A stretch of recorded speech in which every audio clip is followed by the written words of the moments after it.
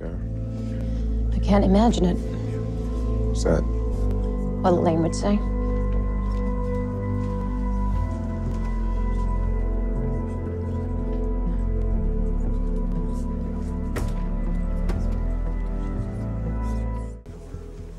But I know someone who could help.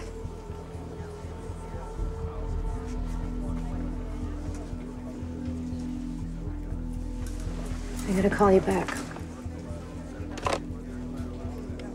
Yes. Did you really think I wouldn't find out? What are you talking about? Sierra Maestra. Never heard of it. Oh, but you have. You all have. CIA's planning an operation there. What do you want, Shepard? I want to be read in. I have information I know you'll want. I think we should share. I think we should help each other.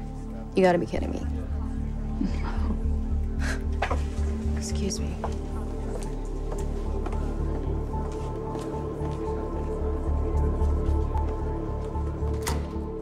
Sarah's a rule follower. Everything is by the book. Security breaches are supposed to be immediately reported to the operations supervisor. That's what she'll do.